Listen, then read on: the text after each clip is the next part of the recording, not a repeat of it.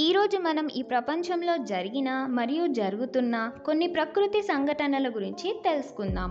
మీరు ఇప్పటి వరకు ఇలాంటి ఆశ్చర్యపరిచే న్యాచురల్ ఇన్సిడెంట్స్ని ఎప్పుడు చూసుండరు. మీరు కనుక మన ఛానల్కి కొత్తగా చూస్తున్నట్లయితే సబ్స్క్రైబ్ చేసి బెల్ సింబల్ని యాక్టివేట్ చేసుకోండి. దాని ద్వారా నా వీడియోస్ నోటిఫై అవుతాయి.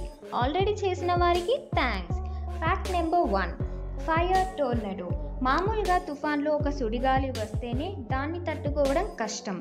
అదే సుడిగాలి ఒక మంటలా చెలరేగి పైకి వస్తే వినకడానికే భయంకరంగా ఉంది కదా?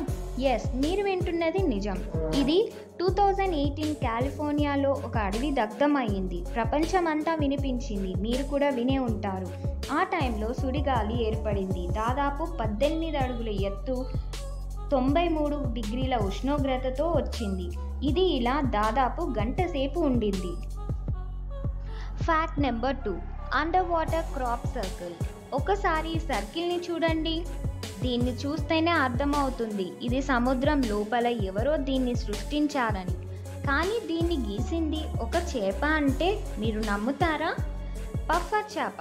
తెలుసు కదా అదే అండి శత్రువులు దాడి చేస్తే బంతిలాగా మారుతుంది కదా అదే ఈ సర్కిల్ని సృష్టించింది. ఈ చేప ఇలా సర్కిల్ సృష్టించడానికి కారణం తన భాగస్వామితో అందులో తన సంతానాన్ని పెంచుకోవడానికి. ఆ సర్కిల్ మధ్యలో ఆడ చేప గుడ్లని పెడుతుంది.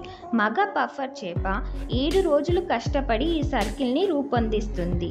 వావ్ గ్రేట్ కదా! ఈ చేప కోసం ఈ వీడియోకి ఒక లైక్ కొట్టండి. Fact number three horse tail falls. ఈ జలపాతం పేరే అద్భుతంగా ఉంది కదా?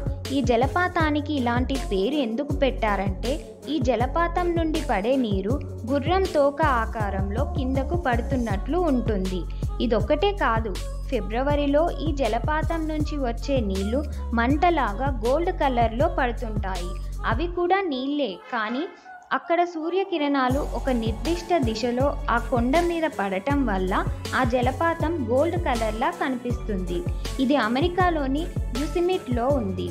అందరికీ బంగారు రంగులో కనిపించదు. అక్కడ ఒక సరైన స్థలం నుండి చూసిన వారికి మాత్రమే అలా కనిపిస్తుంది. Fact number four super cells తుఫాన్లను సుడిగాలులను ఒక విభాగంలో పెట్టవచ్చు. కానీ సూపర్ సెల్స్ని మాత్రం అలా కాదు. సహజంగా ఏర్పడిన ఒక నల్లటి మేఘం. అది కూడా యంత్రంలాగా మన తల మీద తిరుగుతుంటే భయం కాకుండా ఇంకేమవుతుంది? ఈ సూపర్ సెల్స్ వచ్చాయంటే ఆ ప్రాంతంలో పెద్ద తుఫాన్లు కానీ భారీ వర్షాలు కానీ పడే అవకాశం ఎక్కువగా ఉంటాయి. అంతేకాకుండా ఏదైనా భారీ విపత్తుకి ఇది ఒక హెచ్చరిక అని చెప్పవచ్చు. Fact number five the black sun మన దేశంలో ఇలాంటి సంఘటనలు చూస్తూనే ఉంటాం. అది ఏంటంటే పక్షులన్నీ కలిసి ఒక్కసారే ఎగురుతుంటాయి కదా అదే ఇది. మన దేశంలో దాదాపు పది నుంచి ఇరవై పక్షులు ఇలా ఒక్కసారి గుంపుగా వెళ్తుంటాయి. కానీ డెన్మార్క్ ఇంగ్లాండ్లలో ఒక్కసారి ఐదు వందల నుంచి వెయ్యి పక్షులు ఒక్కసారే ఎగురుతుంటాయి.